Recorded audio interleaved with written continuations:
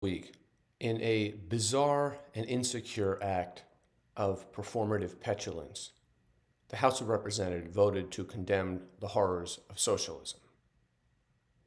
And before we blame the Republicans, which we should, we should note that about half the Democrats voted for this as well, including Nancy Pelosi, including Adam Schiff, including a number of other high profile Democrats. Not all of them did, but about half. That's a very rough number.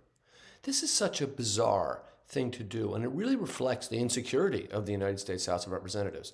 First of all, obviously, there were terrible things done in many communist countries Stalinism, the Khmer Rouge, the Cultural Revolution. But today's Republican Party conflates any social program with socialism.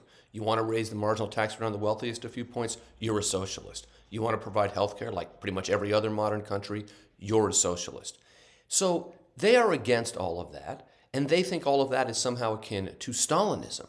And that is absurd. And anybody with a modicum of education about the past knows that isn't true. But that speaks to the, the Republicans having nothing to do or say other than that. But the fact that the Democrats, so many Democrats, went along with it is appalling.